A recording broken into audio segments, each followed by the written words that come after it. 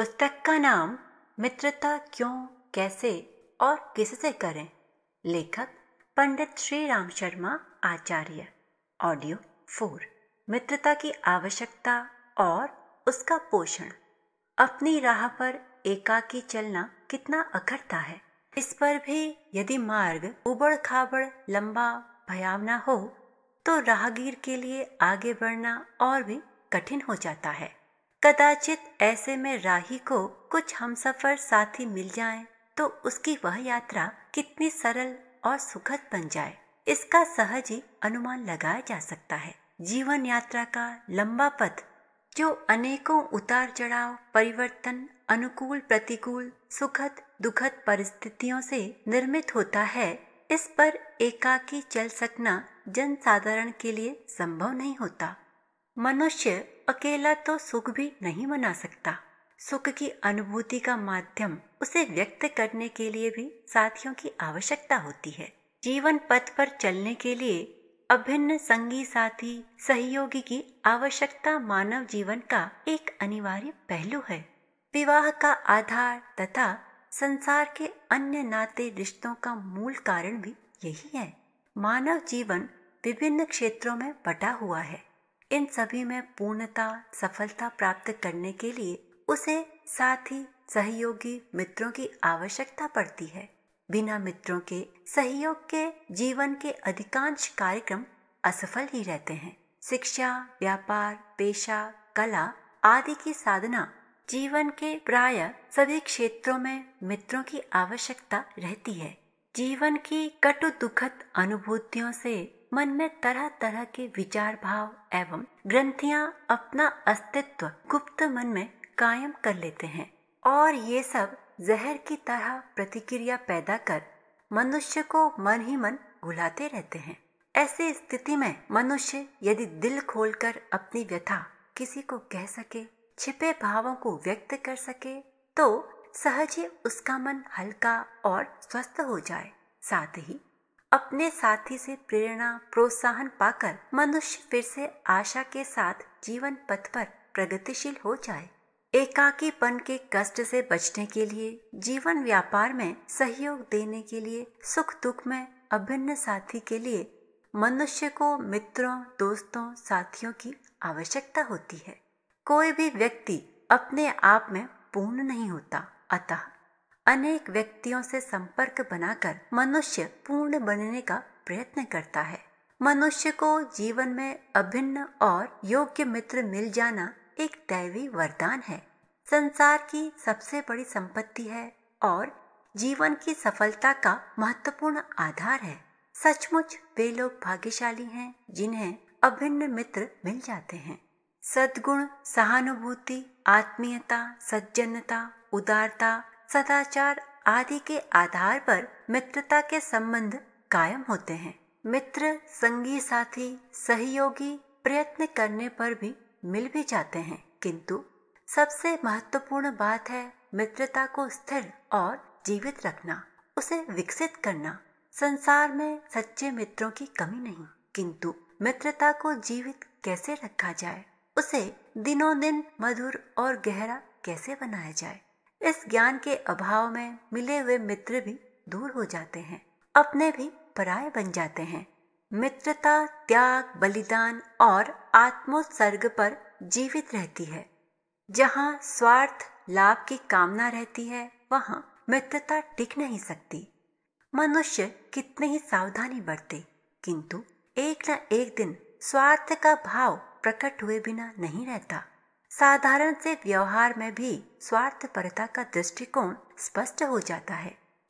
आजकल बाज़ार में मिलावटी, सेल्समैनों की सी हमदर्दी, व्यभिचारी के सेवा त्याग के स्वांग की तरह ही मित्रता का भी रूप बन गया है। उपयोगी व्यक्ति कुछ लाभ पहुँचाने वाले लोगों से ही मित्रता के झूठे संबंध जोड़े जाते हैं। परस्पर बड़े बड़े आदर्श, त्याग, सेवा वायदों की लंबी लंबी बातें की जाती हैं।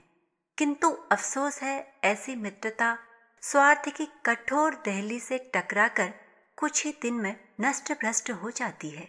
ऐसे मित्र बाज़ार में मिल जाने पर कतरा कर निगाह बचाकर टल कर निकल जाते हैं। दुनिया के बाज़ार में फैले हुए नकली माल की तरह ही आजकल ऐसी नकली मित्रता का ही चारों ओर बोलबाला है। यदि कहीं सच्ची मित्रता है तो उसकी संख्या उसी तरह है जैसे कंटकों के पहाड़ में दो तीन हीरों के टुकड़े।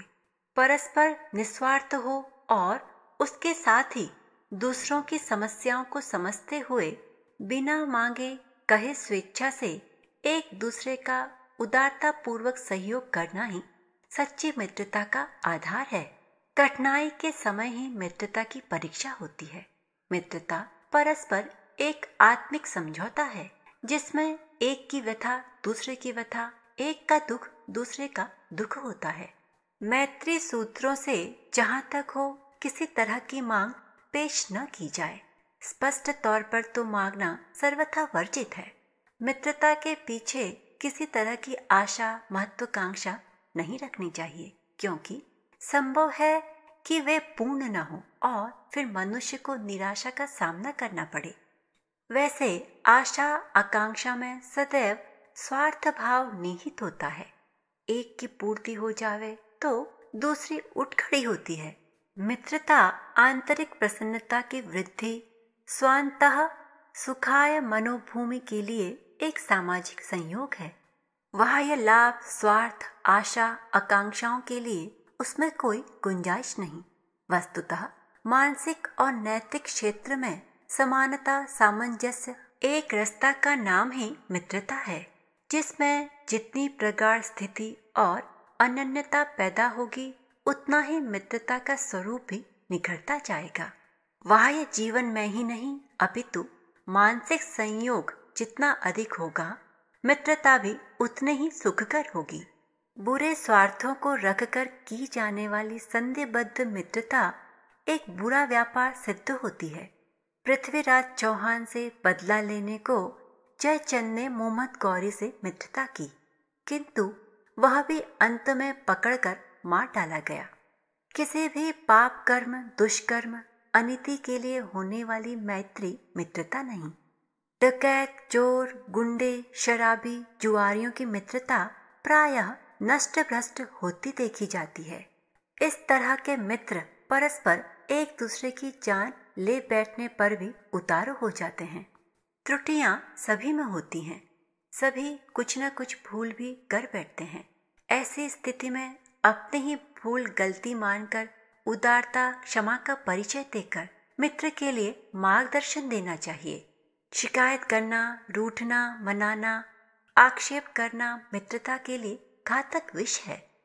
कभी कभी गलत फहमी से कदाचित कुछ विरोध, द्वेष की भावना पैदा हो भी जाए तो उससे विचलित नहीं होना चाहिए।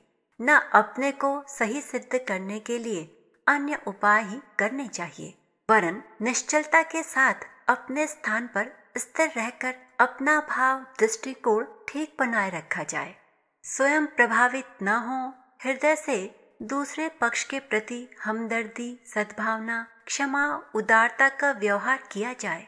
इससे गलत फहमी भी जल्दी ही दूर होगी। भूलों को सुधरने, उन पर विचार करने को समय मिलेगा और मित्रता अपने वास्तविक रूप में फिर निखरेगी। मित्रता के लिए एक महत्वपूर्ण गुण है हृदय की विशालता, उदारता और महत्ता। उसके कारण विपत्ति और गरीबी में भी मनुष्य को मित्रों की कमी नहीं रहती। हृदय की इस विकसित अवस्था से जंगल में भी मित्र मिल जाते हैं। पशु पक्षी भी मित्र बन जाते हैं। राम वन में गए तो भील, बंदर, भालू, गिद्ध आदि पशु पक्षी भी उनके अभिन्न मित्र बन गए। इसका मुख्य कारण उनके हृदय की महानता थी, जिससे वे सभी को आत्मवत मानकर निस्वार्थ भाव से प्रेम करते थे। उदारता पूर्वक एक दूसरे की सराहना, प्रोत्साहन, मित्रता को सजीव और दृढ़ बनाता है। साथ ही इससे गिरे हुए उठते हैं और सफलता प्राप्त करते हैं। व्यंग विष भरे वाण की तरह है, जो मनुष्य के हृदय के बीच की ठोस मित्रता को काट देता है। इनसे सदा दूर रहा जाए, सुकोमल व्यवहार, उदारता, आदर भाव, मित्रता को चिरस्थायी बनाने के लिए आवश्यक है।